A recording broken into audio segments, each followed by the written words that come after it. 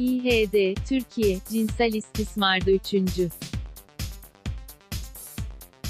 Sırada, 16 yılda 440 bin çocuk doğum yaptı İstanbul Şubesi Çocuk Hakları Komisyonu'nun raporuna göre, son 16 yılda 18 yaşın altında 440 bin çocuk doğum yaptı. Cinsel suçların %46'sının çocuklara karşı işlendiği, çocuğun cinsel istismarında Türkiye'nin dünya listesinde üçüncü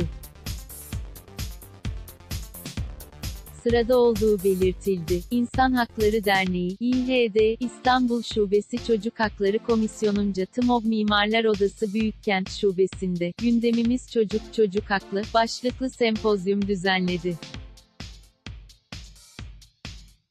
Evrensel'in haberine göre, sempozyumda İHD İstanbul Şubesi Çocuk Hakları Komisyonu'nun hazırladığı insan hak ihlali raporu paylaşıldı. Raporun çocuk istismarı verilerini aktaran komisyon üyesi Zelal Coşkun, şu bilgileri paylaştı. Adalet verileri, yılda ortalama 8 bin çocuğun cinsel istismara uğradığını ortaya koyuyor. ECPAT 2015 yılı Türkiye raporuna göre, çocuklar, Türkiye'de cinsel şiddete en fazla maruz kalan grubu oluşturuyor. Türkiye'deki cinsel suçların %46'sı çocuklara karşı işleniyor. Çocuğun cinsel istismarında Türkiye dünya listesinde 3. sıradadır. TÜİK verilerine göre, son 10 yılda 482.908 kız çocuğu devletin izniyle evlendirildi. Son 6 yılda 142.298 çocuk anne oldu ve bu çocukların büyük kısmı dini nikah ile evlendirildi. 2002'den bu yana 18 yaşın altında 440 bin çocuk doğum yaptı. 15 yaşın altında cinsel istismara uğrayarak doğum yapan çocuk sayısı ise 15.937 olarak kayıtlara geçti. 17.000 istismar davası açıldı. Adalet Bakanlığı verilerini de paylaşan Coşkun, Türkiye'de çocuk istismarı ile ilgili dava sayısının son 10 yılda yaklaşık 3 kat arttığını söyledi. Bakanlığın 2015 verilerine göre de yılda ortalama 17 bin istismar davası açıldığını aktaran Coşkun, bu davaların %45'inin mahkumiyetle sonuçlanmadığını vurguladı. 10 çocuktan 8'i kayıt dışı, çocuk işçiliği raporunu da aktaran Coşkun, Türkiye'de çocuk işçi sayısının 2 milyona yaklaştığını ifade etti. Coşkun, çalışan her 10 çocuktan 8'i kayıt dışı olarak çalışıyor. Mesleki eğitim alan özellikle turizm sektöründe uzun saatler çalıştırılan stajyerler, yani çocuk işçiler ve çocuk işçiliği sayılabilecek uygulamalar ile çıraklık eğitimi alanlar resmi olarak çocuk işçi sayılmamaktadırlar.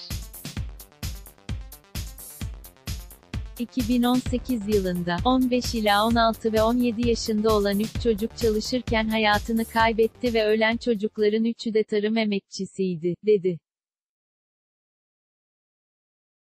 Çocuk yaşta evlilik yüzünden eğitime devam edilmiyor. Eğitim hakkı raporuna göre ise, örgün ve yüksek eğitimde var olan cinsiyet farkının kapatılmadığı yazıldı.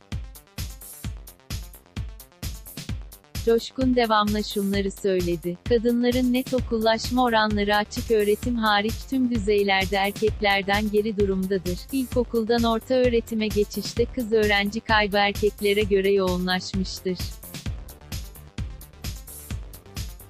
Yeni müfredatta, bilime, sanata, emeğe, mücadeleye, sevgiye, paylaşmaya, kadına yer yokken aile yaşamını kutsayan ve kadını yok sayan cinsiyetçi politikalar yaygınlaşmıştı. Milli Eğitim Bakanlığı verilerine göre, ülkemizde çocuk yaşta evlilik ve nişanlılık nedeniyle eğitime devam edemeyenlerin %97,4'ü kız öğrencilerdir. İmam Hatip Lise sayısı 2002'de 450 iken, 2017'de 1408'e çıkarılmıştır. İmam Hatip liselerinden 372'si sadece Kız İmam Hatip Anadolu Lisesi olarak ayrılmış ve devlet politikası uygulaması olarak karma eğitim dışına çıkılmıştır.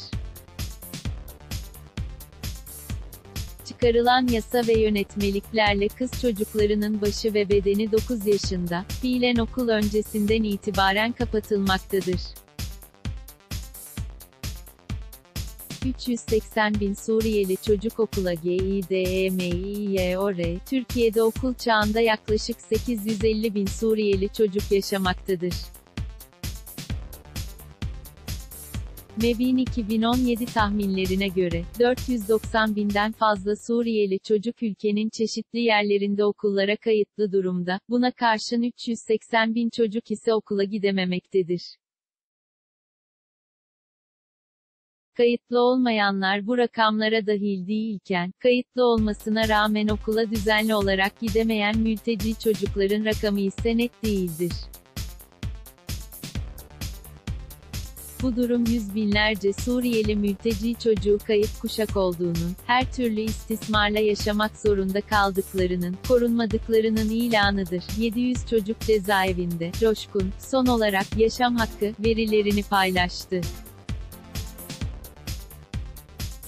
Bakanlığın verilerine göre, 2009'dan 2017 yılına kadar 18 ila 21 yaş arasında 68 çocuk ve genç yaşamını yitirdi.